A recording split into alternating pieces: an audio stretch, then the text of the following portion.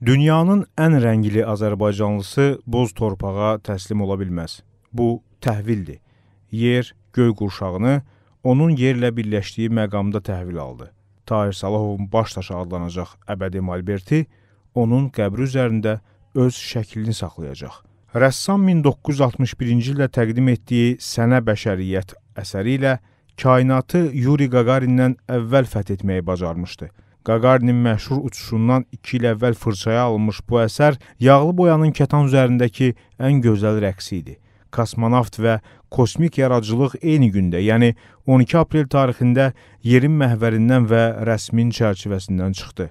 Tahir Salahovun Abşeron qadınları da bu gün həmişəkindən daha qəmli görünür. Onların hərəsi bir istiqamətə baxır. Salahovun 92 illik pürrəngi yaradıcılığı da belə çoxcəhətli və müxtəlif idi. Onun yaratdığı Qara Qarayev incəsənətin ildırımlı yolları ilə yüksələrək ən böyük sərgiləri bəzədi. Tahir Salahovun qələmindən Nardaran kəndi necə ecazkar görünürsə, Chicago göydələnləri də bir o qədər əlçatmaz gəlir. Əslində bütün rənglərin canlandığı vaxtda rəssamın solması da simvolik məna daşımalıdır. Bəlkə də Salahov fırçasını təbiətə bağışlayıb getdi.